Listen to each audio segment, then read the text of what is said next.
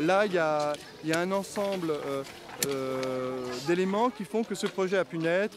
C'est tout autant le fait que, bien sûr, il y, a, des quais comme ça qui sont assez facilement accessibles, mais aussi parce qu'il y avait euh, un maître qui, juste à côté, dans une école à côté, avait un projet pédagogique autour du jardinage.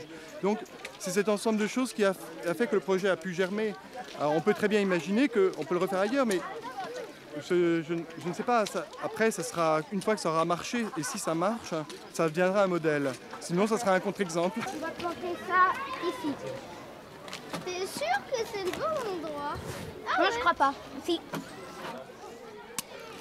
Tiens, vous trouvez des dahlias, vous pouvez mettre des dahlias là.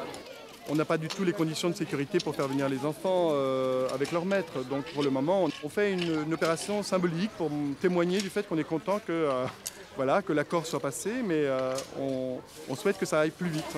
Que la mairie vote euh, les financements et euh, que l'État, via par exemple l'éducation nationale, construise un projet qui conventionne un peu ce type d'équipement.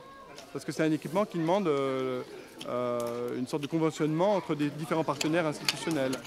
On a besoin des partenaires institutionnels, mais on ne veut pas que ce soit un projet institutionnel non plus.